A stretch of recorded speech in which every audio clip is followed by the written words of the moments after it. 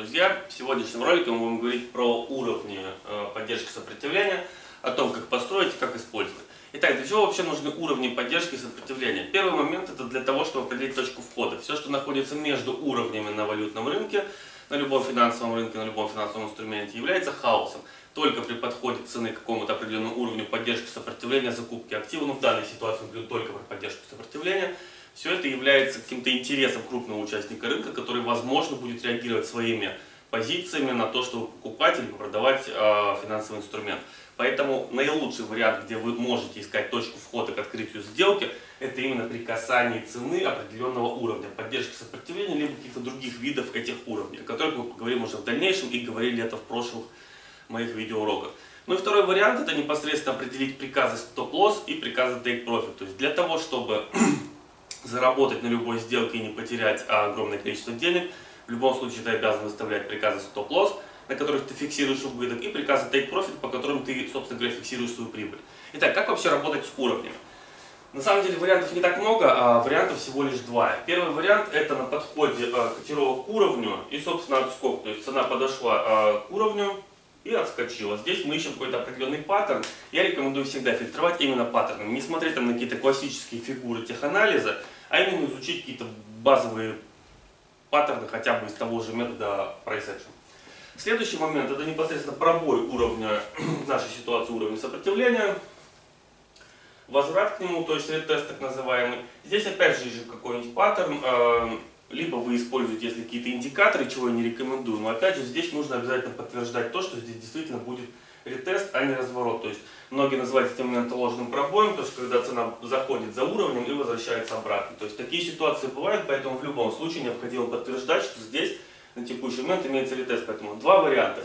Первый отскок, второй пробой, возврат к уровню, так называемый ретест, и, собственно, вход в сделку по продолжению текущего тренда. Следующий момент. Следующий момент – я бы хотел тебе сразу напомнить о том, что если ты торгуешь от уровня, если ты торгуешь от скок пробой, то в любом случае изучай паттерны. Я уже об этом говорил, но не устану повторять. Следующий э, момент это непосредственно построение уровней, как вообще строятся уровни поддержки сопротивления, какой э, вообще существует алгоритм того, чтобы их построить. На самом деле алгоритм безумно простой, ничего здесь сложного нету, и усложнять здесь ни в коем случае ничего не нужно, потому что тебе необходимо анализировать помимо уровня еще множество факторов в плане того, как двигается цена, куда она идет, и что с этим происходит в дальнейшем. Итак, первый момент, который тебе необходимо сделать, это найти два минимума или два максимума, желательно более-менее горизонтальных. То есть в данной ситуации, я уже отметил, у нас есть определенные два максимума, примерно по одной цене расположены, да, и по двум максимумам мы имеем право построить уровень сопротивления. То есть сопротивление это всегда два максимума, поддержка это всегда два минимума. То есть в данной ситуации поддержкой у нас выступает вот, когда уже пробивается уровень, вот у нас первая точка, и вторая у нас сформируется, если у нас цена дойдет опять же до э, этой цены образуется еще один минимум, у нас получится непосредственно уже э, в данной ситуации поддержка. То есть поддержка или сопротивление всегда строится на двух точках. Два минимума это у нас поддержка, два максимума это у нас сопротивление. Если цена пробивает уровень, возвращается к нему, ретестит его э, минимум два раза, то этот уровень у нас э, меняется на сопротивление либо на поддержку. Ну, думаю, здесь все понятно. Так, следующий момент. Как вообще строятся эти уровни, на каких таймфреймах это делать? Я рекомендую тебе начинать с таймфрейма а, дневных графиков, находить также эти минимум максимумы и, собственно, постепенно переключаться до таймфрейма М30. Отмечайте уровни определенной толщиной, определенным э, цветом, потому что считается в классическом теханализе, что чем на более старшем таймфрейме построен уровень поддержки сопротивления, тем он сильнее. Соответственно, ты сможешь фильтровать, какому уровню тебе уделять больше внимания.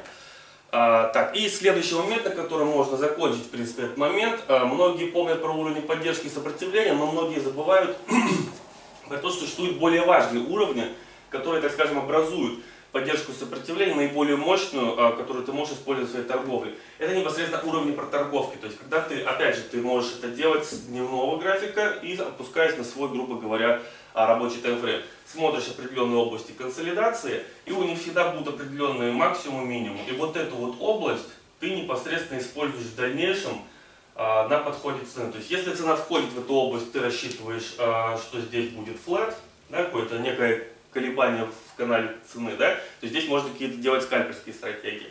А, на пробое цены этого уровня уже, да, у нас получается это уровнем поддержки, э, на подходе сюда и отскок, это у нас уровень сопротивления. Это наиболее мощные уровни поддержки сопротивления, которые ты можешь найти. То есть уровни проторговки – это очень важный момент, на котором почему-то многие трейдеры не уделяют своего внимания. Все, спасибо за внимание, ставь большой палец вверх, пиши комментарий, до встречи в новых видеороликах. Подписывайся на мой канал. Пока.